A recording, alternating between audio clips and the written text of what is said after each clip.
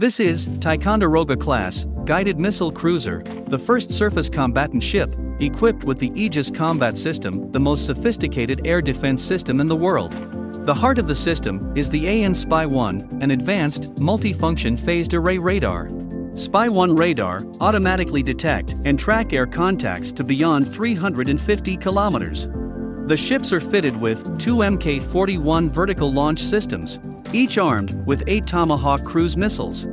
As part of the U.S. Navy cruiser conversion program, the Mk 41 launchers are being upgraded with new Lockheed Martin ALQ 70 computers for the ability to launch evolved Sea Sparrow missiles and SM 3 missiles.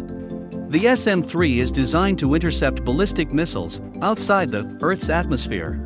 The latest iteration of the class, which features hangars for two Sikorsky or Seahawk helicopters. In total, 27 Ticonderoga class cruiser were built.